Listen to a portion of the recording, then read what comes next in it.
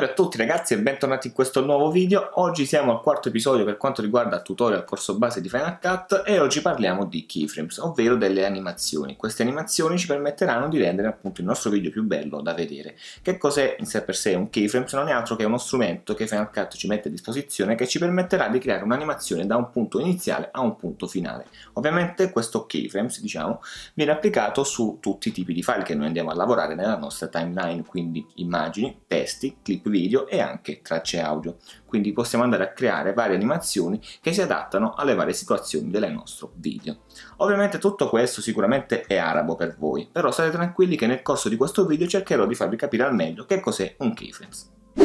Inoltre ragazzi sul mio canale troverete tantissimi tutorial per quanto riguarda Final Cut, vi lascerò il link della playlist in basso in descrizione oppure qui sopra nelle schede. All'interno troverete tantissimi video tutorial di corso base o come scaricare ed applicare degli effetti o come utilizzare alcune funzioni determinate di Final Cut. In più ragazzi cosa molto molto importante seguitemi su Instagram e su Telegram perché lì vi aggiorno in tempo reale su tutto quello che farò qui sul mio canale di YouTube che è cosa molto molto più interessante sul canale di Telegram da qualche settimana sto anche pubblicando delle delle offerte super super vantaggiose di prodotti elettronici, quindi di tecnologia, fotografia e tanto altro, quindi dateci uno sguardo perché potreste trovare davvero degli ottimi affari. Ma adesso bando alle ciance e passiamo direttamente su Final Cut così vi mostro come utilizzare al meglio questi keyframes.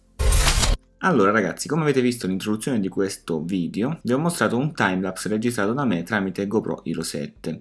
Il timelapse in questione è questo qui, come potete vedere ho dato un'animazione tramite i keyframes di profondità e di movimento perché la clip originale è questa qui.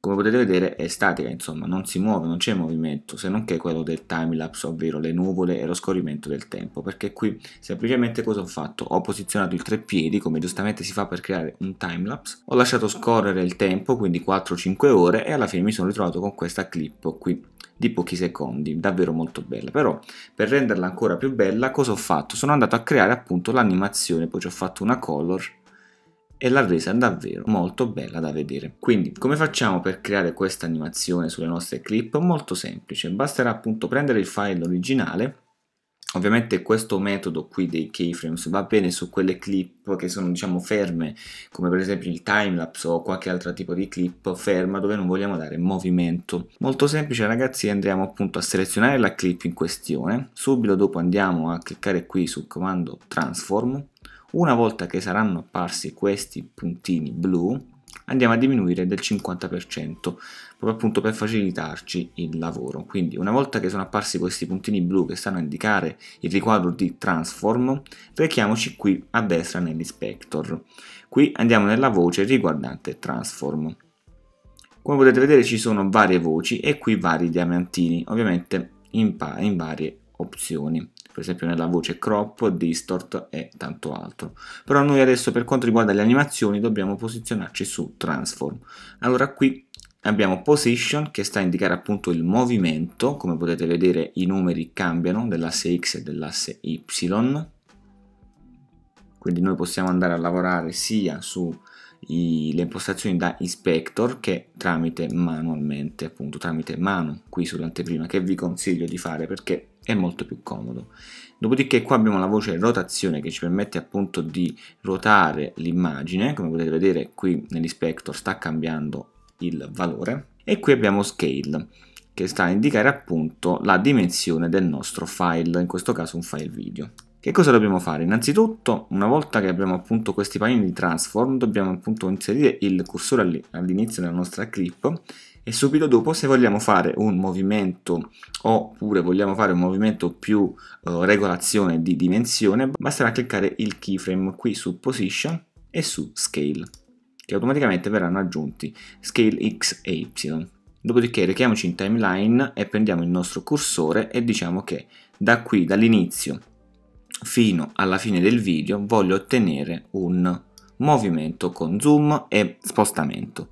Ovviamente ragazzi nel momento in cui noi andiamo alla fine del nostro clip video, della nostra immagine, del nostro testo, facciamo, torniamo indietro di un passo, quindi di un frame con la freccetta sinistra, fino a quando non riappaiono appunto i valori di transform, questi pallini qui.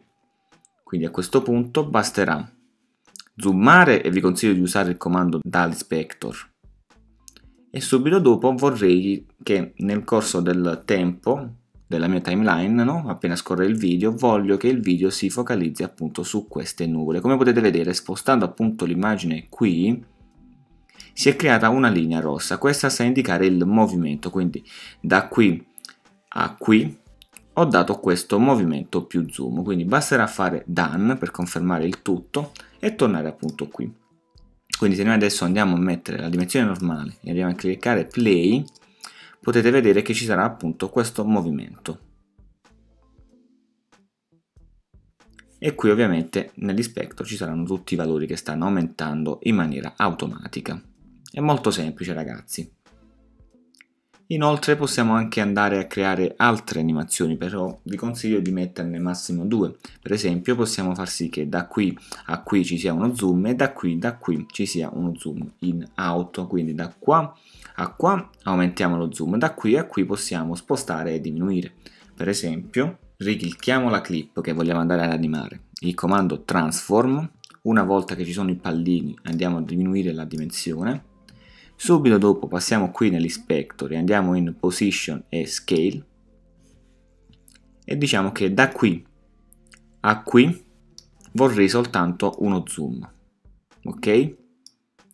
Subito dopo riclicchiamo appunto position e scale e diciamo che da qui, dall'inizio a qui pigiamo il pulsante sinistra per tornare di un frame indietro affinché compaiano le linee di transform, diciamo che vogliamo uno zoom in più spostamento.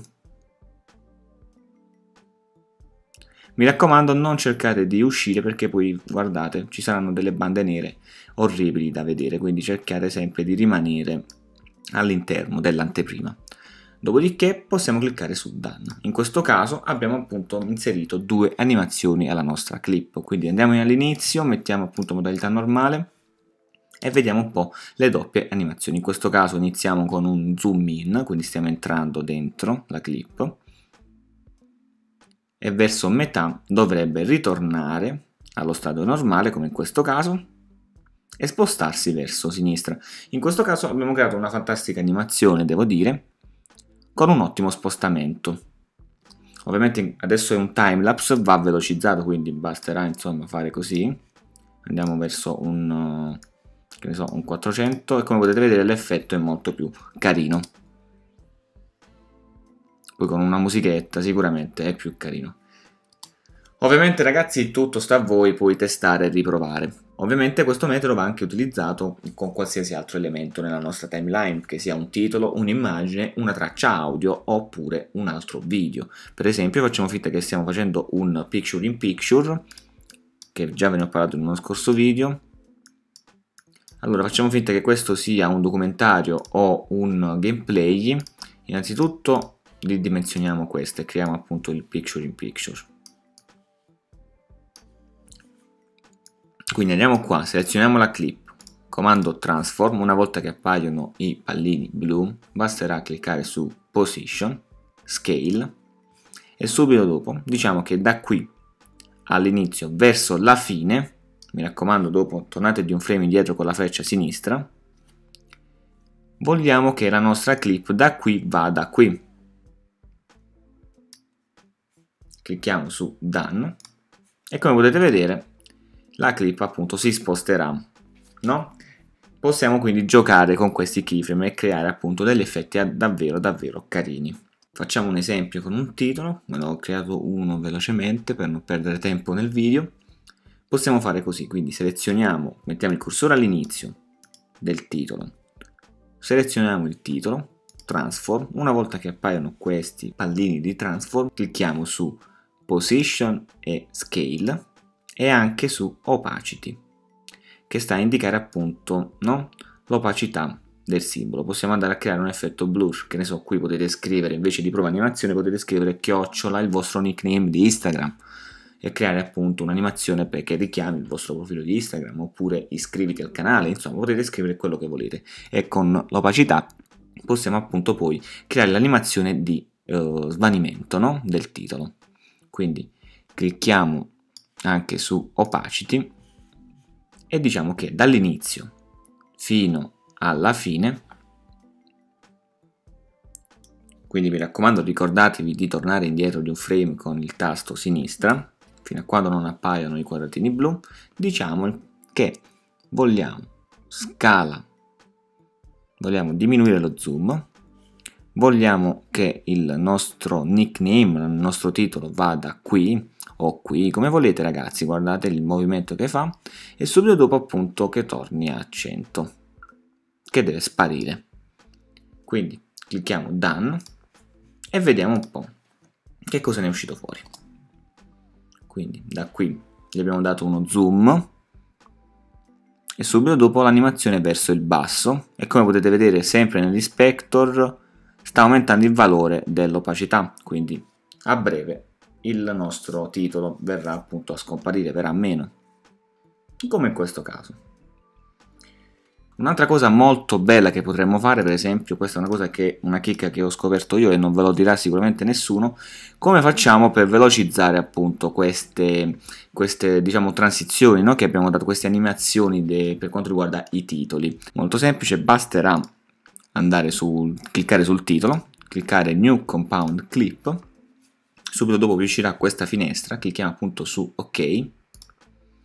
E si andrà a creare appunto il titolo che non sarà più modificabile. Quindi che facciamo? In questo caso va a ridursi subito dopo inizia a spostarsi verso destra. Da qui clicchiamo shift più b. E si aprirà come potete vedere qui in alto una banda di velocità in questo caso la banda che non andremo a toccare è questa, lasciamo la velocità normale, come potete vedere normal 100, mentre invece qui andiamo sulla freccetta e andiamo su fast. Ovviamente questa banda, tutte queste cose di velocità e slow motion, come potete vedere, ve ne ho parlate in determinati video che vi lascerò in basso in descrizione. Quindi andiamo su fast per aumentare la velocità e scegliamo un 4x.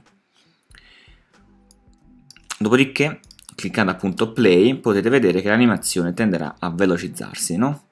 Ecco qua. Ovviamente poi più si uh, diminuirà qui la dimensione, più aumenteremo la velocità. E così via, più allungheremo e più sarà più lento e ritornerà appunto a velocità normale 100%. Quindi ragazzi come avete potuto notare è davvero molto semplice applicare questi keyframes, ovviamente ci vuole della pratica per poter capire meglio il discorso, ma è davvero molto semplice, basterà appunto dare un input e un output, quindi un inizio e una fine dell'animazione. Mi raccomando ragazzi cercate di creare queste animazioni, di utilizzare appunto questi keyframes con criterio, non fate che il titolo da qui lo spostiamo qui, poi lo ingrandiamo, lo riduciamo, no mi raccomando ragazzi cerchiamo di fare un lavoro sempre pulito, cioè il titolo compare qui, lo facciamo sparire e basta, creiamo appunto un'animazione, massimo due e basta. La cosa interessante da poter utilizzare al meglio questi keyframes sono appunto nei timelapse, perché lì appunto avendo un'immagine sempre ferma, comunque con un movimento che va dall'alba al tramonto, nuvole e tanto altro, appunto con i keyframes, con questa animazione daremo allo spettatore il movimento del timelapse, quindi come se la nostra macchina in quel momento ha anche fatto un movimento. È davvero molto molto bello, come avete visto insomma nella intro di questo video. Quindi mi raccomando cercate di utilizzare al meglio questi keyframes. Quindi ragazzi che dire, il video è terminato, spero che vi sia piaciuto, vi invito a lasciare come sempre un fantastico pollice proprio appunto per supportare il canale e mi rendereste davvero molto felice. Se ancora non l'avete fatto vi invito a iscrivervi qui sul mio canale di YouTube, sulla pagina di Instagram e anche sul canale di Telegram che lì pubblico varie offerte molto molto vantaggiose. Quindi l'appuntamento di oggi è terminato, noi ci becchiamo come sempre in un prossimo video. Ciao belli, alla prossima!